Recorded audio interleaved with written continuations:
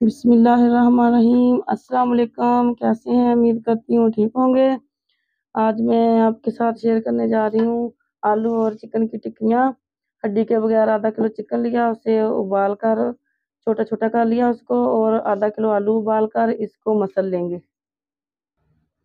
जी, आलू अच्छे तरीके से मसल लेने हैं, इसमें कोई भी गुटली ना रहे और इसके साथ ही इसमें ये जो छोटे छोटे रेशे बनाए हुए हैं चिकन के, वो डाल देने हैं इसमें। और दो प्याज काट के वो डालने हैं।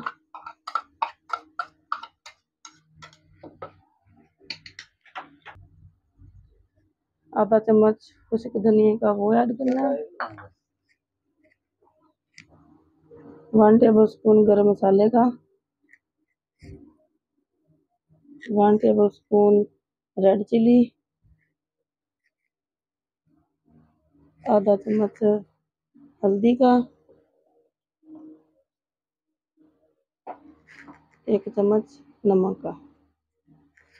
अब इसको अच्छे तरीके से मिक्स करके इसका प्यारा सा अच्छा सा मिक्सचर बना लेंगे। मिक्सचर को अच्छे तरीके से मिक्स करना है और इसको ठंडा करके फिर बनाना है, क्योंकि गरम गरम करेंगे तो ये थोड़ा सा नरम हो जाएगा और इसकी टिक्कियाँ अच्छी नहीं बनेंगी। अब मैं इसकी अच्छे तरीके से टिक्कियाँ बनाऊँगी।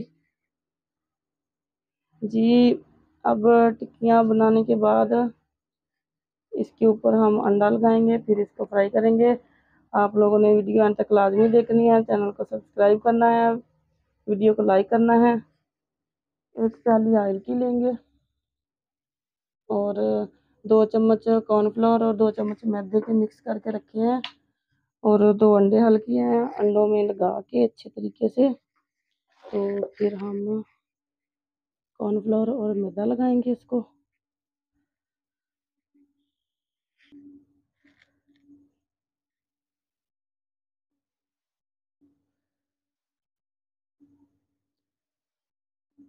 जी, बिस्मिल्लाहिर्रहमानिर्रहीम। ऑयल गर्म हो चुका है, अब इसमें टिक्कियाँ शामिल करेंगे?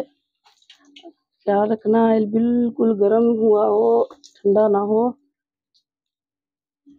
टिक्कियाँ अच्छे से फ्राई हो जाए।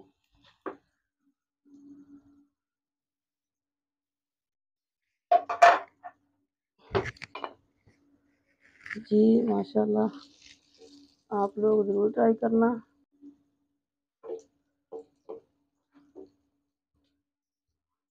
आप लोगों ने ज़रूर ट्राई करना है और कमेंट बॉक्स में हमें बताना है। रेसिपी कैसी लगी?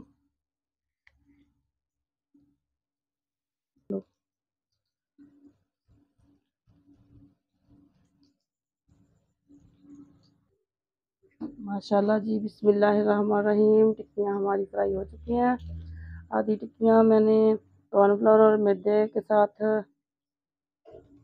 बनाई थी। अब मैं सिर्फ़ अंडे के साथ फ्राई करूँगी, तीन से चार टिक्कियाँ।